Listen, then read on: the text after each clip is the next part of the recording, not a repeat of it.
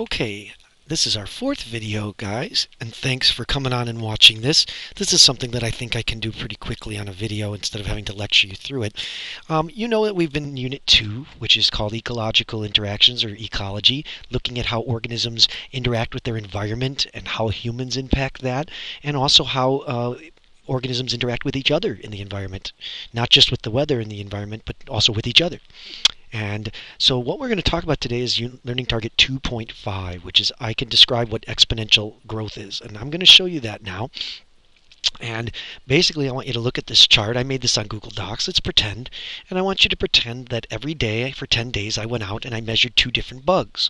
One bug was 20 centimeters, and then every day he went up by 5. The other one started at only 2 centimeters, but every time he doubled, he went up by 2, then 4, then 8, then 16, then 32. So by the end, you can see that this insect is much bigger than this insect. Well, the reason I'm showing you that is because when you graph it out, you can see, and you've done some practice with this, you can see that this is actually the first insect. He goes up, but he goes up in almost a straight line because every time he goes up in length, he goes up by the same amount, 5 centimeters. Whereas the other insect, if you look, kind of goes up slowly for a little while, two, four, eight.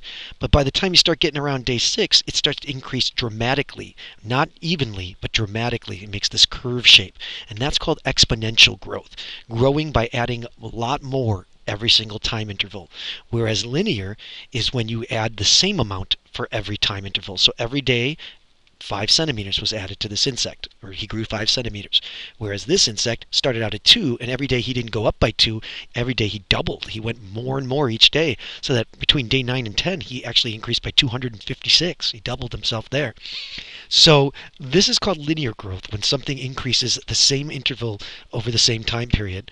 And this line right here is called exponential growth because each time period it's increasing more and more.